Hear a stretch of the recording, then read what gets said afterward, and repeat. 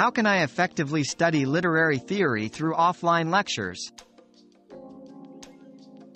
Understanding literary theory involves exploring diverse perspectives on literature.